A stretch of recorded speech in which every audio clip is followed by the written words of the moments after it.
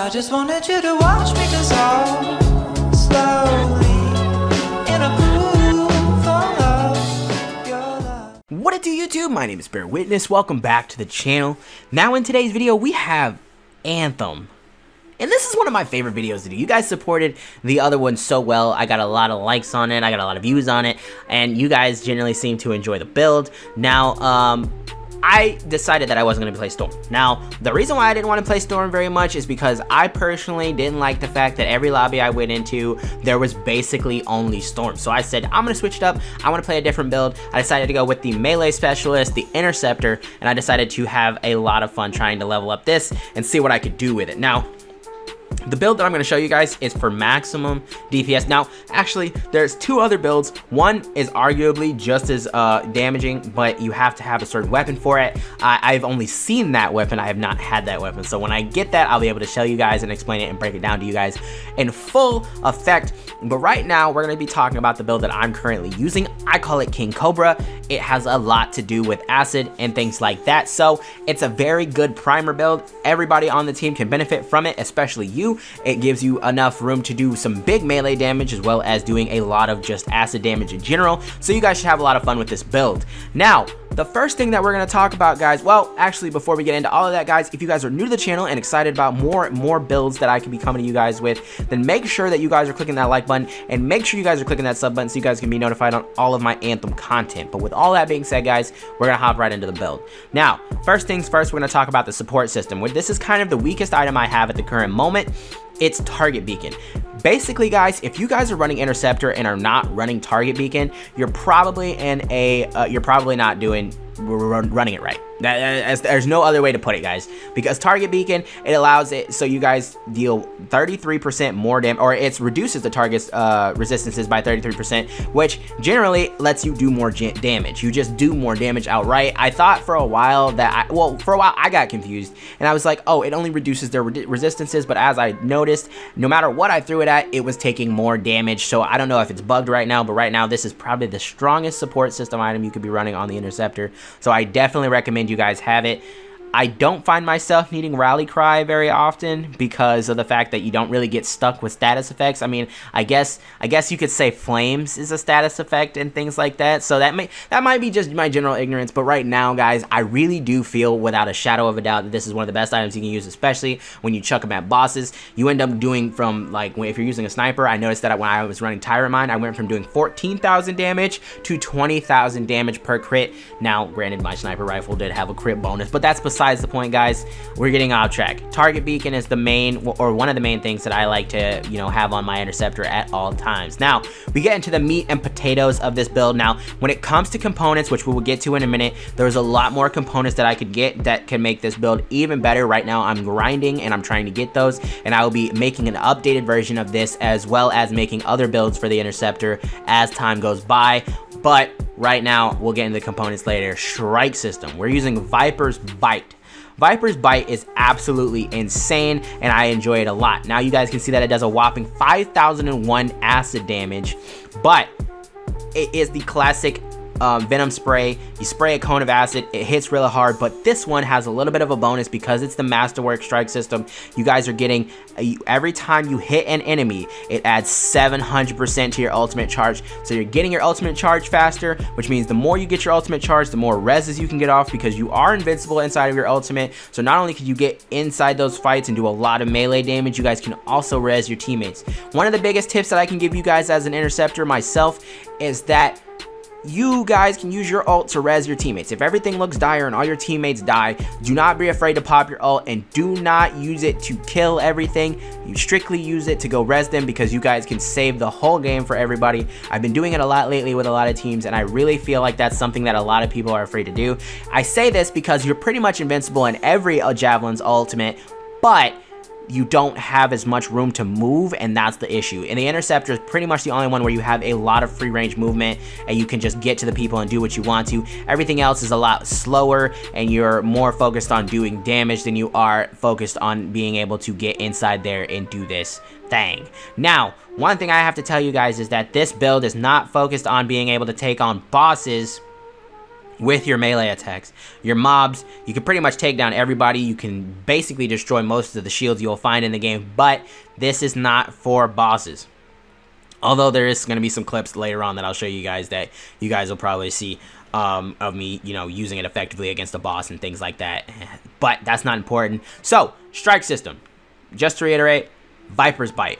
Absolutely nasty. You know, you guys might have different rolls down there. I have plus 8 speed, plus 10 uh, percent ammo, plus 100% gear damage, and plus, uh, 6 repair amount. Now, that plus 100% gear damage makes this build even nastier, but you guys have to find your god rolls. You know, I, not everybody's going to have the same rolls, so you guys got to keep the grind up to get your god rolls, to get the stuff that you want on it specifically. But anything that increases damage, decreases, you know, your gear uh, speed, you know, all of that stuff is very important to making this build work effectively. Now, the other thing to this build, these are the two main points, that ability and this ability. Now, this ability, Serpent's Veil, is another thing. I very much enjoy this. This is the Acid Bomb or Venom Bomb. Uh, it's an upgraded version of it, and every time that you know you defeat an enemy, it increases all acid damage by 100%. So the idea is that you throw your acid, you kill that enemy or try to kill that enemy, and then you get a bonus damage boost to your Venom Spray, which also sets up another set of players for a primer while also adding to your ultimate cooldown. So this build, these two items go hand in hand and make for a very, very nasty combo. Now, I have a couple of other things. The ones that I am running right now, like this one, Way of Resolve, really helps out for when you are when you throw the acid and then you dash in and you have an extra bonus to your melee damage.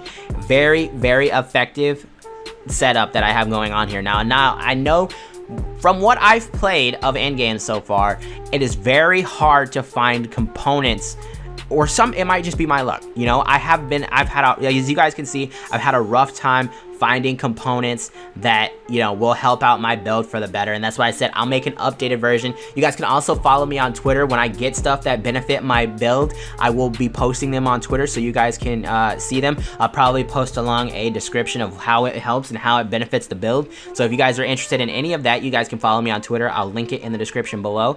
But we also want to talk about the weapons, guys, the weapons I'm using. Now, Death from Above, I just got that, and that's what I was working with. Now, I personally am just enjoying this because these are both ones that I got today. As of, you know, I got these Masterworks after the update, so they're even more beneficial. I recommend that anything that you guys were using that's Masterwork, you kind of scrap that and try to get some new Masterworks, you know, whether it be Legendary Contracts, whether it be running Tyrant Mine or the other one. I don't recommend, you know, the uh, Heart of Rage. That one's just ridiculous but yeah, that's not important. Um, I recommend you guys trying to fix up your Masterworks because they have fixed them. They have made it so you guys don't have to have the shitty perks on them. As you guys can see, I have plus 7 assault damage, assault rifle damage, and plus, uh, 10 weapon damage. So all of this stuff has become, has made the, my weapons a lot more effective, but Death from Above is not part of the game.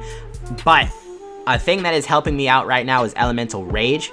So every time I hit an enemy, it increases my elemental damage by 5%, which is 100% uh, at 20 stacks.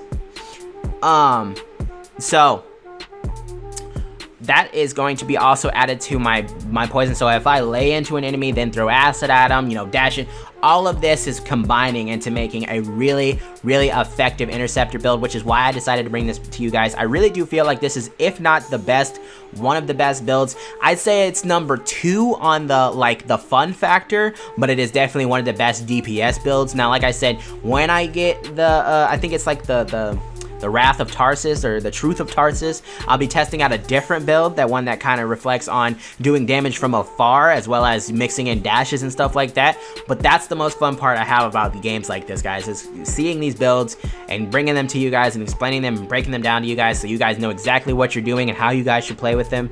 So this this this is it. This is my shit, man. I love this shit. So if you guys enjoyed this this gameplay, if you guys enjoyed seeing this, then I hope that you guys would click that like button as well as clicking that sub button and that bell so you guys can be notified on every single one of my uploads.